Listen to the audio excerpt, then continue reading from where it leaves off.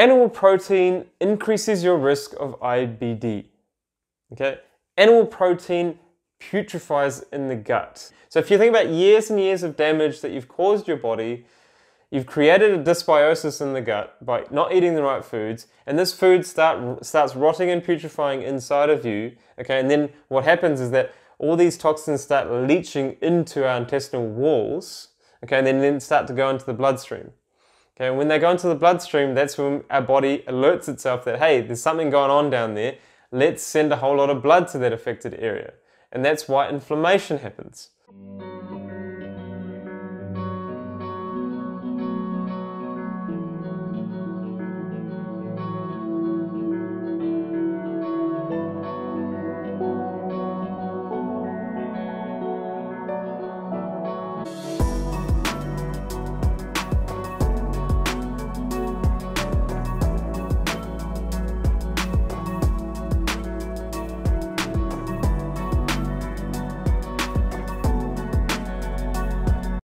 Guys, don't forget to follow me on Instagram at High Carb Health and also click on the green H so you get to see exactly what I eat and what I get up to every single day.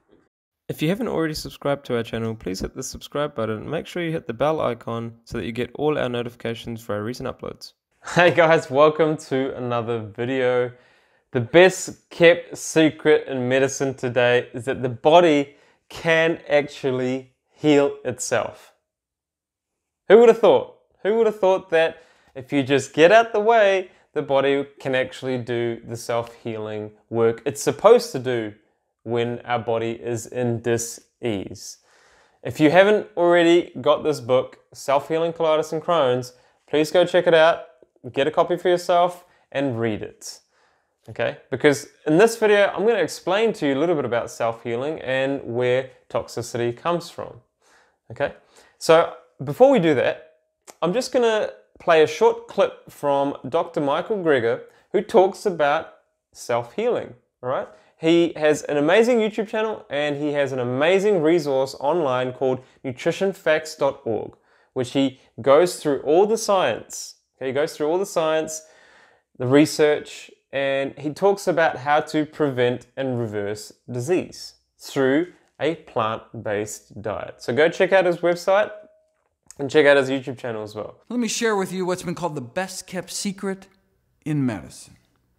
The best kept secret in medicine is that sometimes, given the right conditions, the body can heal itself. You know, if you whack your shin really hard on a coffee table, you can get all red, hot, painful, swollen, inflamed, but will heal naturally if you just stand back and let your body work its magic. But what if you kept whacking your shin in the same place day after day. In fact, three times a day breakfast, lunch, and dinner. It never healed. You'd go to your doctor be like, oh, my shin hurts. The doctor be like, no problem. Whip out their pad, write your prescription for painkillers. You're still whacking your shin three times a day. Oh, it still really hurts like heck, but oh, it feels so much better with those pain pills on board. Thank heavens for modern medicine. So, why is this doctor not pushing pills? Because he believes that the body can heal itself. Just like I have, and so many other people have healed themselves from a number of diseases.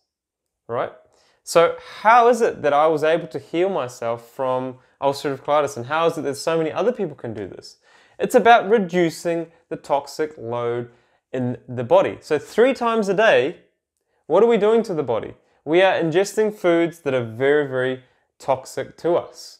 And let's just point this out for a second. The majority of people that get disease, whether it's heart disease, diabetes, cancer, stroke, Alzheimer's, IBD, ulcerative colitis, Crohn's, IBS, they're not really eating lots and lots of fruit and vegetables to begin with, are they? So, why do you think the body ends up in this state? It's not because they're eating fruits and vegetables, it's because they're eating processed foods, for one, because processed foods are harmful. They're also eating lots of animal, animal products. And, you know, people that are vegetarian, you're still drinking a lot of milk, cheese, yogurt. You know, animal protein, animal fat, saturated fat, cholesterol is all in these foods, which creates disease of the body. Okay, if it's not heart disease, it's stroke. If it's not stroke, it's Alzheimer's. If it's not Alzheimer's, it's diabetes. If it's not diabetes, it's cancer, some cancers. And if it's not cancer, it's IBD. Or if it's not IBD, it's IBS. So you are creating conditions for your body that your body does not like and therefore goes into a state of dis-ease. So what do you need to do? Take a step back, allow the self-healing process to begin and put your body back into ease. And you do that through detoxification or you do that through cleansing your body, allowing your body to go through the healing process.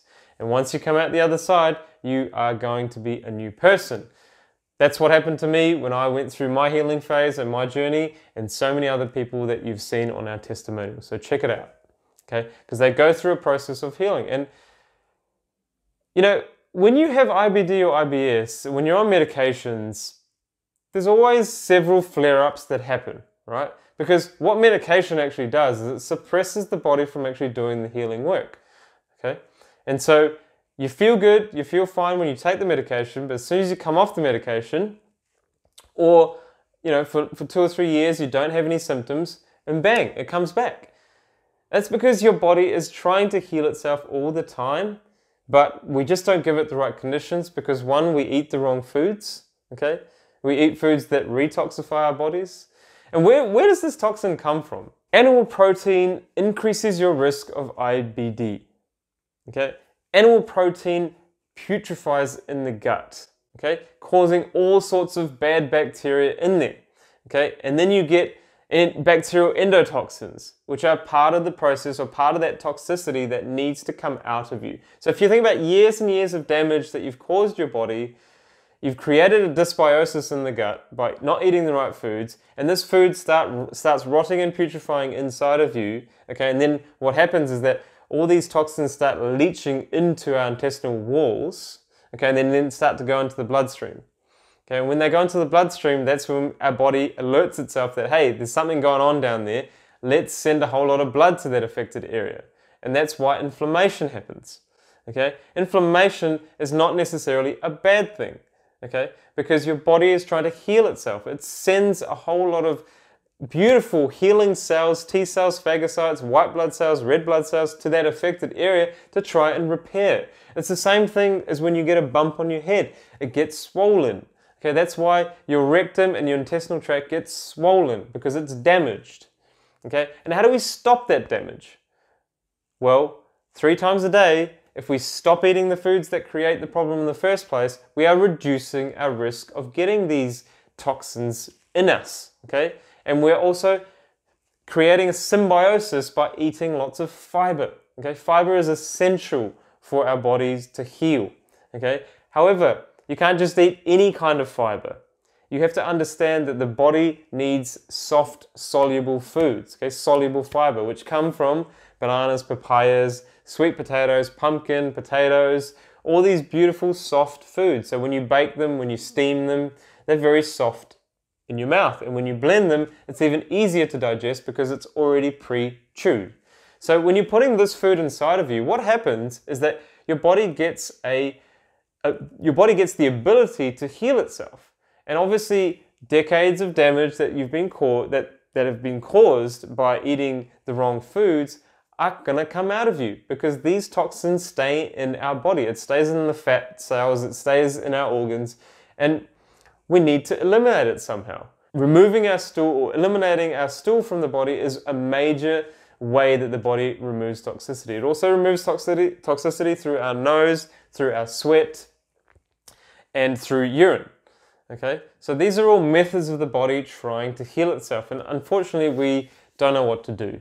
And once we start to figure that out, once we start to agree that our body is trying to heal itself, we understand and we go through the process of healing. So you're in a healing crisis when you're eating the right foods, if you have increased symptoms. Some people don't even have increased symptoms and they go onto a plant based diet, they eat lots of fiber, they create lots of short chain fatty acids in the gut, which lower inflammation levels, which you know, butyrate is something that our gut microbiome actually produces to reduce inflammation levels, so to reduce that toxic load on the body. So if you have a toxic overburden, you need to reduce this, and that's why people generally go through the healing crisis. Okay, so these toxins are not only obviously with food, they're environmental pollutants as well. So the air that we breathe, the air that we breathe, um, the, the medicine that we take, um, obviously the meats and, and the animal products, the pesticides um, on the fruits and vegetables, uh, and the pesticides that are in the fruits and vegetables that the animals eat, and then the antibiotics that are given to the animals, um, all that adds up to toxicity in the body. Same as alcohol. Alcohol is toxic to the body. So if you're drinking that, you're also creating more toxicity in the body. All right. So obviously, yes, if you can get organic fruits and vegetables, that will have a less of a burden on your body. Okay. So the idea is to reduce that toxic load and allow the body to go through that healing phase. It's not to eat more meat and dairy and eggs um, to reduce your symptoms because it's not about symptom relief. It's actually looking at the root cause of the problem. And the root cause of the problem is a overburden of toxins from the food that we eat and from the environment that we're exposed to. All right.